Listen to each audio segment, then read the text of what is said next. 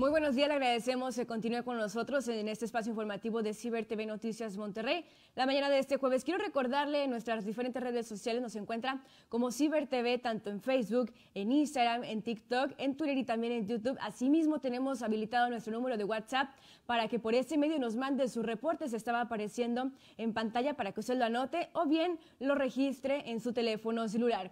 Y siguiendo con información, le platico que durante la celebración del Parlamento del Partido Revolucionario Institucional para discutir la reforma eléctrica del presidente Andrés Manuel López Obrador, un joven que dijo llamarse Marco Gaitán interceptó al líder nacional del PRI, Alejandro Alito Moreno, esto en Monterrey para solicitarle que apoye la reforma del mandatario federal. Moreno en su camino al evento fue interceptado por Gaitán, quien entregó una carpeta con 200 firmas de estudiantes, estos de la Facultad de, Derecho de la Universidad Autónoma de Nuevo León, supuestamente. En el documento los alumnos destacan que la reforma fortalecerá a la Comisión Federal de Electricidad, además de que generará el 56% de la energía eléctrica contra el 46% de las empresas privadas. Siguiendo con más información local, aunque en la boleta de calificaciones de todos los alumnos de primarias y secundarias públicas existe la asignatura de inglés, cerca de 320 mil niños no llevan la materia. Esto debido a que poco más de 500 maestros fueron dados de baja del sistema y ya no fueron contratados al inicio del actual ciclo escolar. Aunque el problema se agudizó en el último año de la administración de Jaime Rodríguez, antes de eso el gobierno independiente ya había dado de baja a otros maestros. A la fecha, según maestros, solo 600 están contratados para impartir esa materia. En otros temas, un hombre fue rescatado por un elemento de protección civil de Monterrey luego de que intentara quitarse la vida en un puente ubicado en la avenida Morones Prieto. Fue gracias a la capacitación recibida que el elemento pudo conversar con la persona a la que después pudieron auxiliar. Ese hecho ocurrió en el puente del Papa en la avenida Morones Prieto.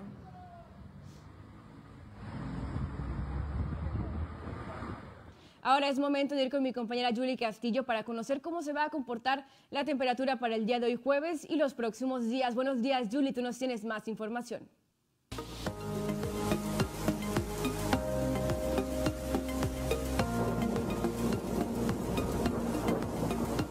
Muchísimo gusto los saludo de nueva cuenta y regresamos con toda la información del pronóstico del tiempo. Ya es jueves, casi fin de semana y usted tiene que conocer las temperaturas y condiciones que nos esperan para este viernes porque se vienen cambios bien importantes. Temperatura máxima 26 grados centígrados, un cielo despejado, soleado, no hay probabilidad de lluvia, la humedad relativa en un 30%. Ya en el transcurso de esta noche empieza a descender la temperatura marcando los 17 a 18 grados centígrados y conforme vayan pasando las horas va a ir en descenso la temperatura. Para el día de mañana viernes estará amaneciendo con temperatura de un solo dígito de 7 a 9 grados centígrados, mientras que por la tarde la temperatura máxima estaría alcanzando los 17 grados centígrados con un cielo despejado. Para el día sábado, cielo medio nublado con máxima de 19, mínima de 9 grados centígrados. Va a continuar el ambiente algo fresco, pero el día domingo ya empiezan a recuperarse las temperaturas.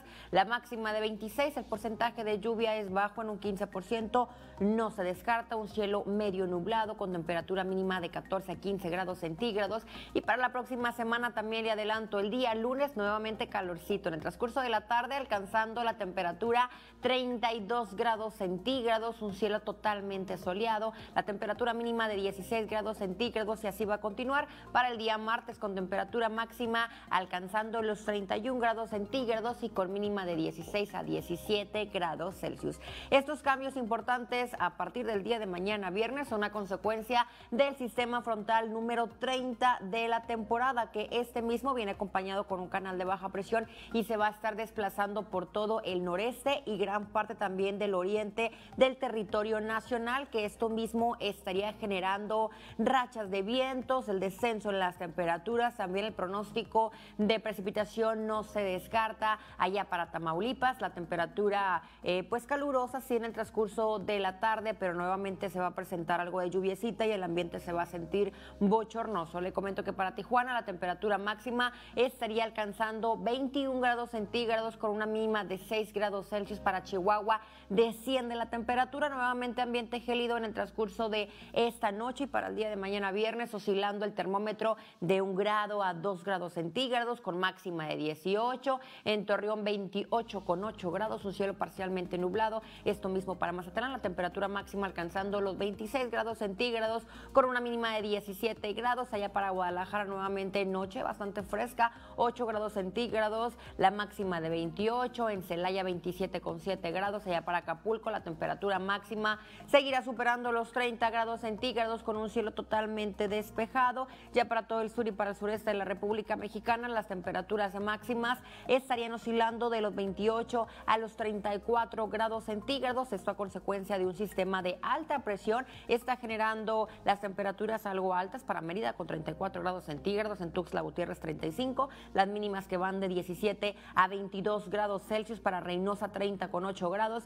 También le comento que para el territorio tejano, para El Paso, nuevamente se viene un descenso marcado en las temperaturas como lo estamos viendo, menos un grado para esta noche. La máxima se estima que solamente está alcanzando 13 grados centígrados y en Macale la temperatura por la tarde alcanzando los 30 grados con mínima de 7 y un cielo totalmente despejado. Hasta aquí los detalles del pronóstico del tiempo. Yo lo veo el día de mañana. Que siga teniendo usted un excelente jueves.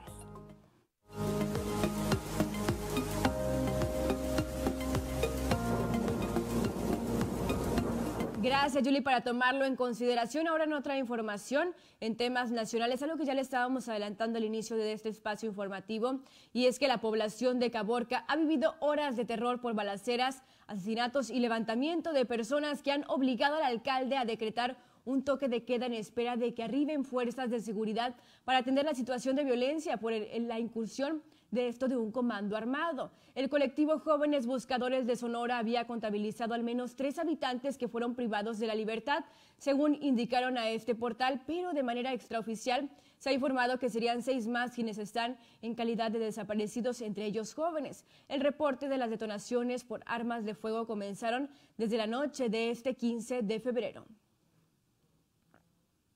En más información, México reporta 23.098 contagios de COVID-19, además 520 muertes en tan solo 24 horas, acumulando así 5.344.840 casos de coronavirus y 314.128 defunciones. Esto de acuerdo con el reporte de la Secretaría de Salud. El informe también contabiliza 660.162 casos sospechosos, además también 8.750.032 casos negativos y 82.825 casos activos estimados. Algunos de los estados acumulan el mayor número de casos de COVID-19 y que en conjunto conforman el 64% de todos los casos acumulados registrados en el país son la Ciudad de México, el Estado de México y también el Estado de Nuevo León.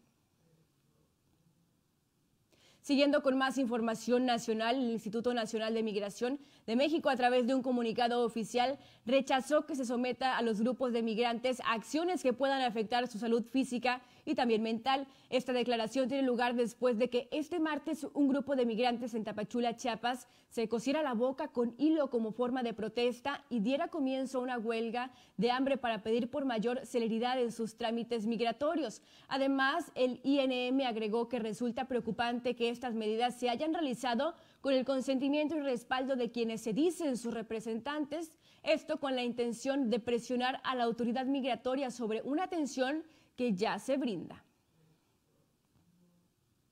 Le platico además que varios niveles de gobierno, asimismo autoridades de Estados Unidos y productores de aguacate aceleraron los trabajos para restablecer las exportaciones de la fruta al mercado estadounidense. El gobierno de Michoacán sostuvo una reunión con Timothy W. Domas, ministro consejero de Seguridad de la Embajada de Estados Unidos en México, a la que asistieron representantes de la Asociación de Productores y Empacadores Exportadores de Aguacate de México y del Servicio de Inspección sanitaria de plantas y animales del Departamento de Agricultura de Estados Unidos. En esta reunión se dio seguimiento a las propuestas para restaurar los canales de exportación después de que el APRI suspendiera los envíos de aguacate michoacano a Estados Unidos porque uno de sus inspectores fue amenazado vía telefónica. Continuando con más información, la Secretaría de Relaciones Exteriores anunció el exitoso traslado de 32 familias mexicanas que viven en Ucrania al sur de dicho país, el cual enfrenta serios problemas políticos con Rusia que podrían descender una invasión, desencadenar una invasión con esto. El anuncio lo hizo Marcelo Ebrard a través de su cuenta oficial de Twitter, en donde además aprovechó para felicitar a la Embajada de México en Ucrania por los trabajos realizados. Las personas reubicadas están asentadas horas de la ciudad de Ivano-Franskis, en donde van a permanecer en los próximos siete días con todos los gastos cubiertos por la Embajada de México en Kiev. Cambiando completamente de información, ahora nos vamos a temas internacionales. Le platico que los hospitales de Hong Kong llegaron al 90% de su capacidad y los centros de cuarentenas alcanzaron su límite según las autoridades, mientras la ciudad trataba de frenar una cifra récord de contagios, esto de COVID-19, atendiéndose a la estrategia de tolerancia cero de China. Para aliviar la presión sobre el sistema de, de salud de la ciudad, las autoridades dijeron que cambiarían la política de hospitalización y aislamiento y permitirían que algunos pacientes recibieran antes el alta. Las decisiones se anunciaron entre, entre reportes de pacientes atendidos en camas fuera de un hospital en el barrio de trabajadores de Shamshupo. Cualquier persona del territorio infectada con COVID-19 debía ingresar en un hospital o centro de aislamiento. Siguiendo con más información, un afortunado motociclista estuvo a escasos centímetros de morir arrollado por un tren que circulaba a gran velocidad en el norte de India. El incidente tuvo lugar el sábado pasado cerca de la estación del tren Axtala, un pueblo del distrito de Uraya, esto en el estado Uttar Pradesh, y fue captado por las cámaras de seguridad de esta misma zona. La filmación muestra cómo el hombre atraviesa las vías férreas en un paso a nivel y de repente se da cuenta de que un tren se acerca a toda velocidad por su izquierda. Rápidamente salta para alejarse de la formación de más de 20 vagones justo antes de que la locomotora golpeara su moto y la lanzara por el aire dejándola totalmente inservible. Seguimos con más algo que ya le estábamos adelantando en los titulares. Decenas de personas han perdido la vida lamentablemente tras las fuertes precipitaciones en Brasil. Más adelante con mi compañera Guadalupe Mijangos. Veamos los detalles. El número de víctimas mortales por los devastadores deslaves e inundaciones en la ciudad brasileña de Petrópolis, en la región serrana de Río de Janeiro, suma ya 78 personas, según informaron este miércoles las autoridades locales. Esto luego de que en la ciudad los más de 259 milímetros de lluvia que cayeron en aproximadamente seis horas en la tarde y noche del martes rebasaran el cauce de los ríos aledaños y causaran el desgajamiento de laderas. Además de los fallecidos, miles de personas quedaron sin hogar y un número aún desconocido continúan desaparecidos. Las autoridades dijeron que el número de muertos podría subir debido a las condiciones en las que se encuentra Petrópolis, que suma casi 200 deslizamientos de tierra.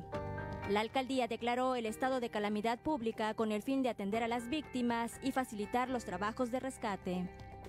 Guadalupe Mijangos, Ciber TV, Noticias Monterrey. Hechos muy lamentables, Guadalupe, gracias por esta información. Y cambiando de tema, la policía australiana informó haber recuperado restos humanos, esto en las aguas, tras un sangriento ataque de un tiburón contra un bañista en la playa de Sydney. Este ha sido el primer ataque fatal de un tiburón en esa ciudad desde el año de 1963. Las autoridades clausuraron las playas cercanas durante 24 horas mientras patrullaban en la búsqueda de posibles depredadores. Ahora es momento de ir con mi compañera Carla Homocico para conocer los videos virales a través de las redes sociales. Buenos días, Carla, tú nos tienes estos videos.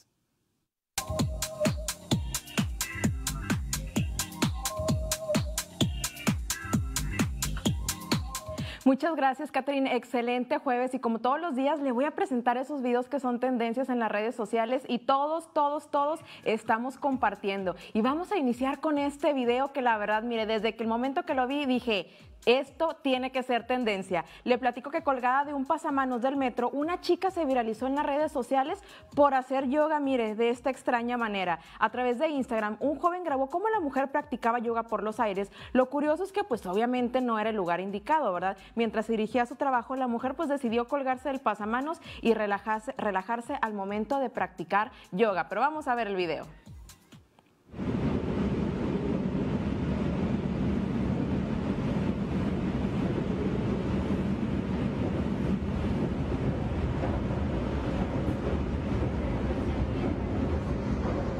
Y continuamos con el siguiente video que pasó nada más ni nada menos aquí en Monterrey, Nuevo León, con este chico Godín que se volvió viral en TikTok. Le comento que cuando intentó calentar su, su lonche, un regio estuvo a punto de quemar la empresa donde trabaja. Así como lo ve, el joven que llevaba para comer unos tacos envueltos en aluminio se volvió viral por casi incendiar su oficina debido a que no retiró el aluminio de los tacos. Mire, sacó sus taquitos, los metió hacia el microondas y podías imaginar a todo el show que se hizo. Pero vamos a ver aquí el video. Yo desayunando burritos de huevito con jamón, para estar al tiro en el jale y ganarme el bono. Jesús de Veracruz, ¿por qué un nadie me dijo que el aluminio no va en el micro? Pues no hubo burritos ni bono, pero las risas no faltaron XD. No, no, no, por tantito ya corrían a este joven. Y ya por último le traigo un video que la verdad, momentos de terror, de tensión al momento que, que, lo vi y que usted lo va a ver aquí adelante y le voy a contar por qué, que le platico que un instructor de paracaidismo cayó al vacío. Esto después de sujetarse de manera pues accidental con sus, lo que vienen siendo los clientes, los aprendices, ¿verdad? En el video se puede observar cómo al preparar el arnés y demás accesorios de la pareja que iba a volar, un descuido lo llevó a este accidente. Por fortuna se pudo, se tuvo que soltar, pero no pasó a mayores.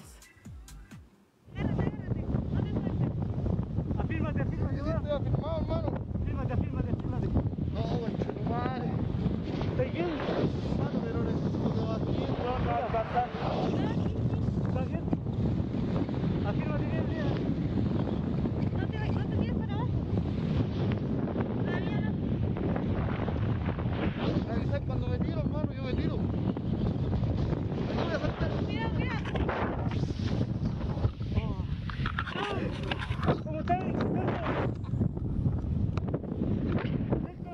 Híjole, impresionante este video y mire, así, estaba yo tensa al momento de verlo. Y esos fueron los videos más virales de este jueves, espero que le haya gustado y que lo comparta. Y como todos los días lo invito a que nos siga en nuestras diversas redes sociales como Ciber TV Noticias, ya sea a través de Facebook, Instagram, YouTube y hasta TikTok. Yo soy Carlos Mosigo y nos vemos hasta mañana.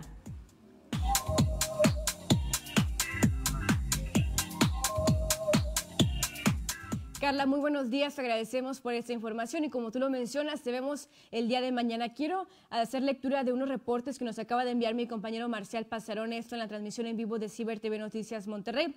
Él menciona en el interior de una casa en la colonia Villa Azul, en el municipio de García, localizan el cuerpo de un hombre. La fiscalía presume que tiene más de una semana de haber fallecido. Además, también menciona, localizan a una mujer muerta en un terreno baldío, esto en la colonia Real de Las Palmas, en el municipio de Suazua, Nuevo León. Agradecemos a mi compañero Marcial Pasarón por esta información. Asimismo, mando un saludo a Jorge de la Mora y también a Víctor Daniel Pérez que están conectados el día de hoy jueves. Queremos agradecerles que estén con nosotros. Ahora vamos a cambiar de información. También vamos con mi compañera Nayeli Peña que nos tiene un adelanto de la entrevista que podremos observar al finalizar este espacio informativo. Nayeli, buenos días. Así es, Catherine, muy buenos días para todos. Me da mucho gusto saludarles y le vamos a dar un adelanto de lo que vamos a platicar en la entrevista el día de hoy. Y es que se trata sobre las comidas antiinflamatorias. ¿Qué tan importantes son las comidas que usted debe de comer, obviamente? Porque tenemos que evitar estas inflamaciones en el sistema digestivo y claro, la nutróloga Denise Castillo nos los va a platicar en la entrevista con Ayeli para que esté pendiente más adelante, Catherine. Excelente, Nayeli, te agradecemos por este adelanto, un tema muy importante sin duda alguna para que no se lo vaya a perder. Nayeli, gracias por esta información. Yo le platico, mire, un tema muy importante que nos va a platicar mi compañero Daniel Rodríguez. ¿Conoce usted el tipo de trastornos que se pueden desarrollar derivados de las adicciones a los juegos de azar? Vamos con mi compañero Daniel Rodríguez que nos tiene todos los detalles. Cada 17 de febrero se celebra el Día Internacional del Juego Responsable con la finalidad de concienciar en la población mundial acerca de los efectos negativos de las adicciones a los juegos de azar y en línea. Hace tiempo, la UNESCO utilizó este día para llevar a cabo una convención con la finalidad de fomentar la prevención de las patologías ocasionadas por los juegos de azar y en línea, que cada vez más afecta a la población en edades más tempranas por lo que se pretende promover los aspectos éticos, así como las formas saludables de jugar, mediante el fortalecimiento de hábitos y estilos de vida. La ludopatía es un tipo de trastorno adictivo caracterizado por la conducta descontrolada y la práctica compulsiva de los juegos de azar y en línea, por lo que no debe confundirse con un vicio. Debemos recordar que el juego debe ser una diversión y no una adicción. Para Ciber TV, Daniel Rodríguez. Daniel, te agradezco por esta información. Ahora mi compañero Rafa Martínez nos tiene los detalles más importantes del mundo deportivo. Vamos contigo, Rafa, del otro lado del estudio. Muy buenos días.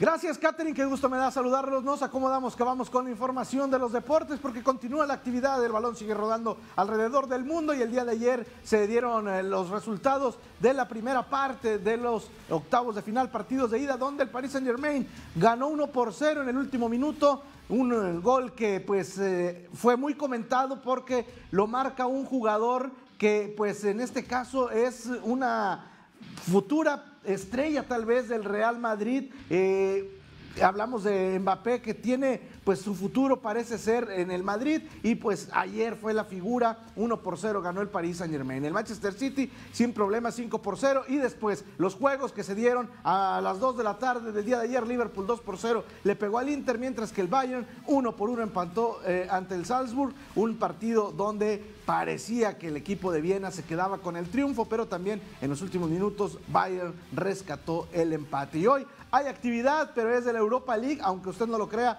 Ahí está el Barcelona que estará enfrentando al conjunto del Napoli, de los partidos destacados, el del Borussia, también frente al Rangers, el equipo de el Tecatito, eh, el ex equipo del Tecatito, el Porto estará enfrentando al Alacio, mientras que el Sevilla, equipo del Tecatito, al equipo del Dinamo de Zagreb dentro de los encuentros a destacar de, esta, de este arranque de la Europa League. Y bueno, vamos a pasar también con los resultados de la Conca Champions, nuestra Champions de la zona, donde el equipo de León le pegó 2 por 0 al Guastatoya, un marcador que le da la tranquilidad de poder regresar a casa para finiquitar la llave de este encuentro. El Cruz Azul batalló, pero a fin de cuentas con gol de Rómulo Otero al minuto 28 le pegó 1 por 0 al Forge FC. De esta manera la máquina también pone un pie en la siguiente etapa. El equipo que no tuvo un resultado pues de triunfo fueron los Pumas que iban ganando, pero al final de cuentas el Saprissa logró el empate de 2 por 2. Pumas se trae un empate de Costa Rica, que no es un mal resultado considerando el rival, que el Saprissa, pues sabemos, es de los equipos fuertes de la CONCACAF. Así las cosas también dentro de la actividad de la CONCA Champions. Y bueno, pues también déjame le platico lo que sucede con la selección mexicana. Hoy hay fútbol en la ciudad, sí, en el estadio universitario estará jugando la selección mexicana femenil. Ahí vemos a Katy Killer que está de regreso en la ciudad, estará jugando en el estadio universitario. Se espera que haya una buena entrada, presencia de, de nueve jugadoras del fútbol regiomontano entre Tigres y Rayadas para este compromiso, con lo que se arranca la actividad del premundial de la CONCACAF, que está pues a horas de iniciar este camino la selección mexicana rumbo al mundial Suerte para ellas esta noche en el estadio universitario. Y bueno, pues también en la Liga MX se jugó un partido pendiente, el duelo entre Mazatlán y América. América sigue mal y de malas, de capa caída. El equipo mazatleco le gana al equipo de las Águilas del América, dos goles por uno. Un partido que pues el Mazatlán lo ganaba con tranquilidad, pero en los últimos minutos se complicó las cosas. Una jugada polémica, se marca una falta fuera del área ya en la compensación y de esta manera pues el América puso a sufrir al equipo de Mazatlán. Aquí vemos el gol que marca Otero, Sosa al minuto 11, Sanzoles al 32 y al 93 es decir, en la compensación, Otero marcó el gol. Después viene esta jugada polémica, se va a revisar al bar, ven que la falta es afuera, pero hay tarjeta roja, expulsan al jugador de Mazatlán, última jugada, no pasó nada y de esta manera el equipo de Mazatlán le pega a las Águilas del América. Y bueno, vámonos con lo que sucede con el equipo de los Tigres, porque los felinos siguen preparándose para hilvanar otro triunfo más. El equipo de Tigres que entrenó el día de ayer allá en las instalaciones de Osvaldo Batocletti en San Nicolás, donde pues se vislumbra que el Piojo Herrera repetirá alineación, la que usó en el partido pasado ante Chivas, con Nahuel Guzmán, con Diego Reyes, Angulo, Aquino, Dueñas, Pizarro, Carioca, Vigón, Florian, Quiñones y Guiñac. Sería el mismo cuadro que estaría utilizando para el partido de este fin de semana ante el conjunto de San Luis. Habló Javier Aquino, vamos a escuchar qué es lo que dice el oaxaqueño. En, mi opinión, es una opinión personal, yo creo que sí tenemos una mejor plantilla. Creo que tenemos jugadores eh, suficientes para armar prácticamente dos equipos. En cada posición hay dos o hasta tres jugadores de alta calidad, de alto nivel seleccionados de su país. Eh, yo creo que el otro día contra, contra Guadalajara se nota que tenemos un plantel más vasto. Por ejemplo, salen cuatro jugadores de altísimo nivel y, y entran otros cuatro de primer nivel también. O sea, me parece que tenemos un equipo mejor armado. Creo que tenemos gente que revoluciona el partido, gente sobre todo de distintas características al jugar fútbol, ¿no? La llegada también de, de Soteldo creo que nos vino muy bien. Eh, pues Nico que está también aquí. O sea, tenemos grandísimos jugadores al ataque y a la defensiva que creo que sí es un, mejor plantel. Ya nunca hemos tenido excusa para buscar el campeonato. Creo que este año eh, mucho menos, ¿no? Yo creo que sabemos la importancia de, de que ha hecho la directiva el esfuerzo para poder armarnos este equipo y claro que Javier Aquino, orgulloso del plantel que tiene el equipo de Tigres. Y oigan, redes sociales, pues ya se hacen los dimes y diretes entre clubes, se perdió el respeto por completo. A mí sinceramente me agrada el troleo sano, no pasa nada. Pero bueno, pues el Club Puebla sabemos que su community manager le encanta hacer polémica y empezar a criticar a los rivales como si Puebla fuera uno de los grandes del fútbol mexicano. Y primero se burló de Rayados diciendo que pues el quinto lugar del mundo contra el, super líder y después publicó, bueno, ya no les diré nada porque andan muy sensibles y no quiero que me quemen más butacas. Y es que cuando Puebla acababa de remodelar su estadio, el primer partido que jugó fue contra Rayados y los aficionados quebraron y quemaron butacas en el primer partido después de su remodelación de estadio y por eso pone este líder contra la Pastora FC, para no mencionar a Rayados, ahí está el otro que le mencionaba ya pueden adquirir eh, en taquilla sus boletos para enfrentar al quinto lugar del Mundial, burlándose obviamente de la actuación de Rayados. Y esto, pues al que no le agrada nada es al director técnico poblano, Nicolás Larcamón, quien dijo, estas publicaciones no representan la idiosincrasia del plantel. La pregunta, porque hoy vi una publicación del club eh, para promocionar la venta de entradas que, hablaba... Eh, de, la ubicación en la, o del, resultado que había obtenido Monterrey en, el Mundial de Clubes. Eh, que personalmente y, en representación del equipo no, no, no, nos representa. O sea, es una publicación que Monterrey para haber jugado el Mundial de Clubes fue el campeón de la Conca Champions, primero que nada. Cosa de que a mí me merece muchísimo respeto. Eh, nosotros consideramos a Monterrey como lo que es, uno de los grandes rivales del torneo, un equipo que, tiene una, jerarquía bárbara en, el individual de cada uno de sus jugadores, en la capacidad de su entrenador y sabemos que, el viernes vamos a tener que hacer muy bien las cosas para, bueno, para, sumar, para sumar de a tres como queremos. ¿Qué, opinión le merece que en redes sociales eh, algún sector de la gente aficionados de Monterrey lo quieren como entrenador acá con. La verdad no, no, no estoy al tanto de, nada, ni de lo que se dice en redes, ni en medios, ni, ni, ni, la gente. Eh, hoy estoy en Puebla, estoy muy, muy a gusto en Puebla y quiero como lo dije en algún otro momento, cada vez que se me pregunta respecto de mi futuro. Monterrey contra Puebla, este próximo viernes el partido allá en la Angelópolis. Y vamos a pasar con información de Donovan Carrillo, que ya está de regreso en nuestro país tras haber participado en los Juegos Olímpicos de Invierno en Beijing, donde pues tuvo una buena participación. No le alcanzó para colgarse medalla, pero pues ante grandes potencias es complicado y su participación de llegar hasta la final fue digna de reconocer. Llegó gente al aeropuerto a recibirlo con cartas, a tomarse fotografías y él se muestra muy agradecido. entrenador Gregorio Núñez y yo para pedir el apoyo y seguir creciendo y seguir luchando por alcanzar el sueño de Beijing 2022. Han sido años difíciles, pero sin duda alguna, del 2019 al día de hoy, se ha visto un cambio muy importante en mi carrera y esto pues obviamente tiene mucho impacto en, en, el apoyo que recibí durante estos años para prepararme y llegar fuerte aquí a Beijing 2022. Palabras del atleta mexicano patinador artístico Donovan Carrillo. Vamos con más información porque también pues el equipo de los carneros, los Rams, los campeones del Super Bowl 56 realizaron su desfile. Aquí estaba pues el mapa de cómo iban a hacer el recorrido en las calles de Los Ángeles. Muy felices se les vio a los jugadores posando, tomando refresco, to tomando aguas amargas. Usted sabe de cuáles me refiero, ¿verdad? Perfectamente. Eh, pues eh, decoraron estos eh, camiones que trasladaron a los jugadores por toda la ciudad de Los Ángeles, donde cientos, miles de aficionados se dieron cita y vemos a Matt Stafford eh, fumando un puro, tomando pues refresco y demás. Estuvieron felices después de haber ganado el Super Bowl 23-21 ante los Bengals de Cincinnati. Y déjame le presento la imagen del día porque la verdad es que es digna de, verla y, y, disfrutarla. La Champions League es un evento que pues nadie se quiere perder y, cuando, y ahora que se transmite en plataformas digitales y que puede ser de fácil acceso en celulares y computadoras, vea esto. Aficionados que son estudiantes, están en su clase y aprovecharon la oportunidad que tienen la laptop, que el maestro está enfrente y obviamente no ven lo que tienen abierto en su computadora, pues ahí alrededor de unos 6, 7 estudiantes se pusieron a ver el partido de la Champions League y pues ni quien les diga nada, y es que llamaba la atención el duelo de antier entre el equipo del Paris Saint Germain y el Real Madrid y todos viendo el juego como usted lo puede ver en esta imagen del día. Es lo que tenemos en la información de los deportes, que tenga un excelente día.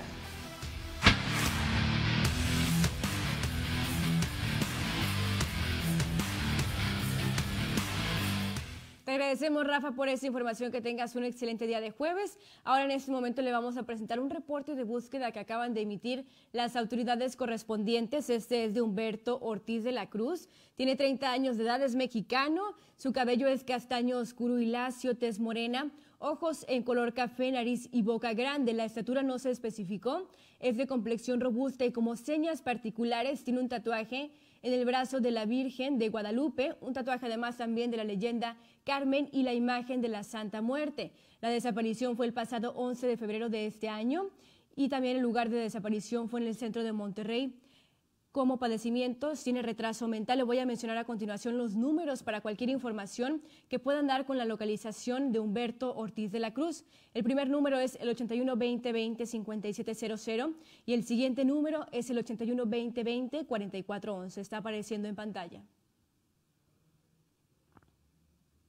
Cambiando completamente de información, veo usted estas imágenes de un tierno oso perezoso que fue rescatado en las últimas horas en unos cables de luz ubicados en el municipio de Tarazá, Antioquia, en los cuales estaba balanceándose y poniendo su vida en completo peligro. El simpático animal llamó la atención de la comunidad y un electricista de las empresas públicas de Medellín subió al poste más cercano a la ubicación del oso. Luego enganchó una línea de vida al cable donde éste se estaba balanceando trató de llamar su atención alzando los brazos, como lo podemos ver en pantalla, llamándolo. Al ver que el mamífero se alejaba cada vez más, el operario de EPM le acercó una escoba de la cual pudo sujetarse con mucha pericia y las dos manos. El operario atrajo la escoba con el animal hacia sí mismo hasta que pudo asistirlo.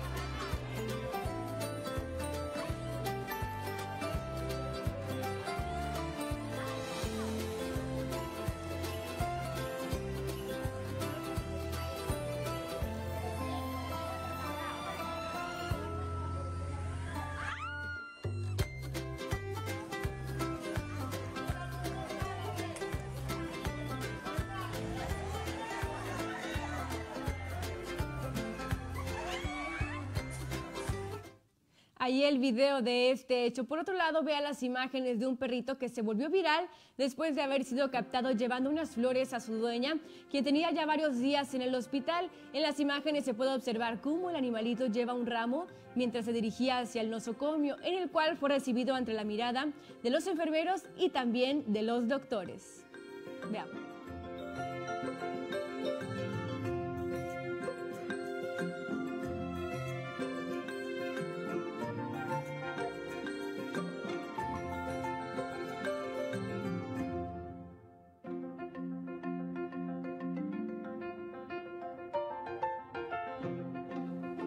Tiernas imágenes. Y cambiando de información, llegó el momento de ir con mi compañero Alfonso Pérez. Vamos con él del otro lado del estudio para conocer los temas del mundo del espectáculo.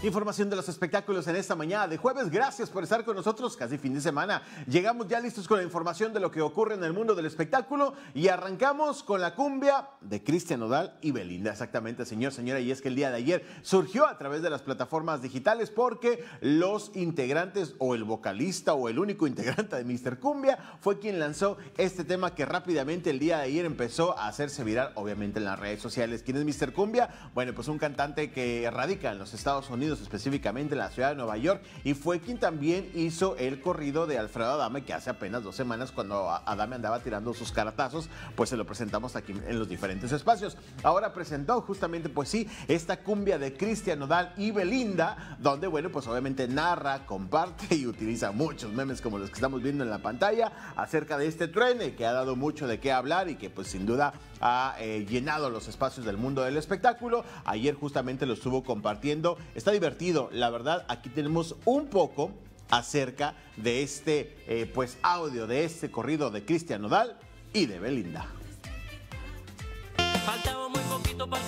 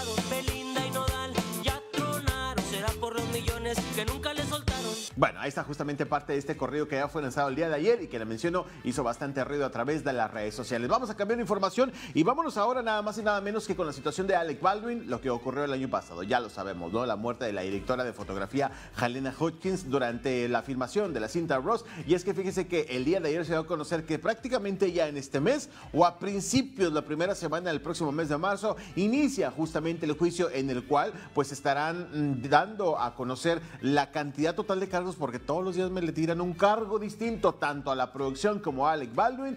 Y bueno pues eh, obviamente se verán en un juicio allá en los Estados Unidos de los últimos cargos. Aquí se lo platicamos que de repente hay algunos cargos que suenan ridículos patéticos perdóneme hasta estúpidos de verdad pero suenan y ocurren porque el último fue la enfermera que estaba encargada obviamente de la seguridad en el set ella demandó a la producción porque dice que después de haber vivido esta situación y atender a la eh, fallecida directora que sufrió trauma, imagínense, la enfermera dice que sufrió trauma al atender la emergencia y que por ello ya no puede ir a trabajar y obviamente necesita pues unos millones de dólares, ¿verdad? Para sentirse bien, cosa irónica, cosa patética, pero así la situación que dijo todo el mundo, si todos podemos aprovechar, hay que aprovechar pues para sacar un billetito o intentar sacar un billetito, dijimos nosotros pues igual nosotros también hacemos una demanda porque estamos traumados de tanto que hablamos de esta nota, ¿verdad? Si a esa vamos, pues todo el mundo podemos ser aprovechados, así muchos de los involucrados justamente allá en los Estados Unidos, pero pues sí, Estaremos muy al pendiente. Estas imágenes que estamos viendo en pantalla fueron eh, eh, pues mostradas el día de ayer o publicadas a través de las redes sociales también. Es una recreación de la lamentable tragedia que ocurrió ese día allá en el escenario en las locaciones de la Cinta Rosa. Estamos viendo pues el personaje del actor Alec Baldwin. Ahí estamos viendo cómo pues aparentemente se estaba rodando la escena. Ahí está la directora, está el director de la cinta atrás porque recordemos que él también recibió el impacto pero solamente le dio en el hombro. Afortunadamente pues eh, obviamente él se encuentra con vida pero ahí está, mire, la recreación y como le mencionó, el punto es que ya se dice que en, estas, en estos días o la primera semana de marzo inician los juicios pues para sacar a los culpables de esta tragedia que le quitó la vida a la directora Halina Hodgkins. Una, Hodgkins, una triste noticia que bueno, pues le hemos estado platicando con el paso de los días. Y ya para finalizar, vámonos también a noticias no tan agradables. Oigan, fíjense que el día de ayer en los portales de los portales de los Estados Unidos se estaba mencionando que Kanye West tiene problemas de bipolaridad. ¿Por qué surgió esto? Porque también se acaba de estrenar una serie de documentales a través de la plataforma Netflix, donde pues platica los inicios del cantante, quien la verdad, oiga, desde los primeros días andaba bien loco. La verdad es que este muchacho, el hámster en la cabeza no le corre nada bien. Y si usted ve ya algunos avances de este documental, sí deja mucho de qué desear la, el comportamiento. Justamente el intérprete en los últimos días ha estado dando mucho de qué hablar. Ayer estaba compartiendo unos mensajes que le mandó Kim Kardashian pidiéndole, rogándole por favor que ya se comporte y que ya no le esté tirando a través de las redes sociales ni él ni al novio de la socialite porque dice que está creando solamente un ambiente de tensión, de peligro y de odio tanto para ella como para su actual novio y bueno, dijo por favor no compartas estos mensajes. ¿Qué fue lo que hizo Kanye West? Comparte los mensajes a través de las redes sociales y dijo, ok, lo haré porque me preocupo por ti, me preocupo por mi familia y también con el tipo que andas. Está bien, dejaré de acosarlo. Y ayer estaban compartiendo también en redes sociales de que Kanye West definitivamente no está bien de la cabeza, que es un hombre que en cierta parte podría resultar peligroso porque sí, está creando ambiente de odio con todo lo que ha publicado y aún así él quería ser presidente de los Estados Unidos. Bueno, tampoco estaría tan alejado de lo que eres de unos que ya están en ese puesto, ¿verdad? Pero así la situación. Es la información de los espectáculos en este día. Que tenga un excelente jueves.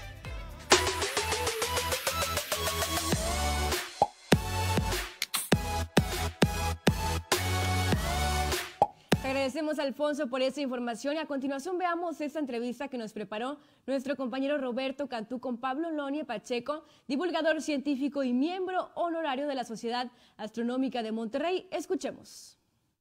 Pablo, ¿por qué eh, la astronomía llega a ser tan fascinante para muchas personas? Pues definitivamente porque la envuelve una, a, un aura de misterio, ¿no? Eh, cualquier persona que se interese en la astronomía termina por hacerse muchas preguntas, ¿no? De dónde venimos, a dónde vamos, cuál es el destino del sistema solar, cómo se formó la Tierra, eh, existieran otros lugares, otros mundos parecidos al nuestro, con formas de vida similar. Eh, vaya, despierta muchas preguntas la astronomía y afortunadamente también la, astronomía se alimenta de, de muchas ciencias. Es decir, si alguien empieza a rascarle un poquito la astronomía, empieza a encontrar datos interesantes de historia, de geografía, de meteorología, de, no se diga de física, química, matemáticas. Entonces, para mí la astronomía es una de las ciencias más completas que existen y de lo primero que desarrolló el ser humano para poder... Uh, defenderse en el planeta Tierra. ¿no? Estamos hablando de, hace miles de años, cuando la observación de las estrellas daba las herramientas para poder orientarse en el espacio y en el tiempo. Y ahora, ya en el, en el corto plazo, eh, ¿qué es lo que se nos eh, depara en cuanto al calendario astronómico? Pues yo podría recomendar que, que ya se pongan las pilas porque a partir del próximo fin de semana y ya por muchas semanas más, meses, ahorita, por ejemplo, vamos a poder ver, se ve muy, muy notorio Venus, el lucero de la mañana, que si lo ponen en un telescopio van, a ver que tiene una fase parecida a la Luna. Es decir, no se ve redondo como estamos acostumbrados a ver los planetas, sino se va a ver en fase delgada, como si fuera una rebanada de melón. Entonces, esto lo van a poder ver todo lo que resta de febrero, todo marzo. Eh, ya para abril, cada vez el, el planeta se va a ir alejando más de la Tierra y la fase va a ir cambiando. Digamos que ahorita es una fase creciente. Entonces tiene una parte iluminada, pero cada día que pasa va creciendo la, porción, pero al mismo tiempo el planeta se irá alejando y será haciendo más pequeño. Este es Venus, que no tiene pierde porque es el objeto más brillante, que vean a las seis, seis y media de la mañana sobre el oriente. Y luego abajo a la derecha de, de Venus van a ver un puntito anaranjado. Ese es Marte. Todavía se ve muy pequeño porque está del otro lado del sistema solar.